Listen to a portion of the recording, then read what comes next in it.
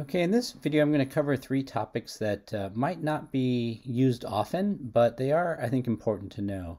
Uh, they're good sort of um, things to keep in mind when you're when you're working with objects in CoSpaces.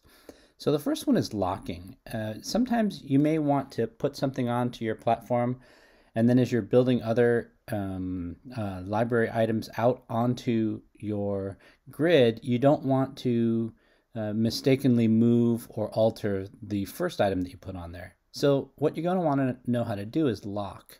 So let's just take this item here that we've imported as an STL file. Uh, if I want to come in here and double click on it, I can just come in here and click lock. And so what that does is it, it keeps me from like trying to get to it and accidentally resizing it or lifting it up or changing its rotation angle or whatever uh, I'd have to double click in there and click unlock in order to edit it. So this is really good if you don't want to have something disturbed while you're working with other items.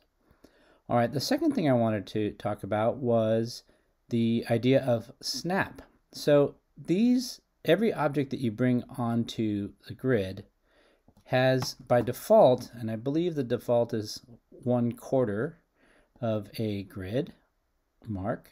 So it as I'm moving this across the grid, you can see, it, maybe if you look closely down at the foot, you can see that it's just moving one fourth of that larger square. So this is one square, and these are fourths.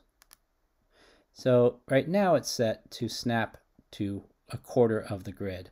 I could snap it to one grid, and then as I moved, it would just snap like that, and it would only stop at those grid points. Okay, so that's really good if you're, for the most part, you know, just needing to put things roughly in a certain area. But if you wanted to rotate, let's say, really smoothly, you could turn snapping off. If I take snap snapping grid off, and now when I move, it doesn't snap to the grid. It just, I can do everything at an exact angle that I want to. So snapping is a, a feature that by default is on, uh, for the most part, I, I leave it on, but you may have instances where you're needing some fine tuning and you don't want to do that.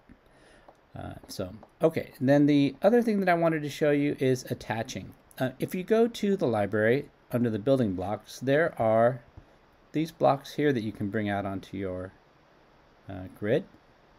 And you can use them as kind of like platforms. If I double clicked on this platform and maybe I went to the materials and maybe made it look like a wood block or something like that. And this could be an area where uh, an, another object resides. And so the way you do that is you do what's called attaching. And if you saw the video on how to code um, a, a, character to walk on the on the grid, you saw that we attached the character to the path. Same thing here. So if I let's say double click on this dog and I say attach, there are items, these little blue dots uh, highlight on different characters and different points that you can attach the dog to. So in this case I can click on this one and the dog appears on top of my platform. And I maybe I'll shrink him down to match the, the size of the platform. So then if I were to maybe animate him and have him uh, play, something like that, he will stay on the platform. So when we hit play here, and there we go. Okay, so the dog is playing on the platform.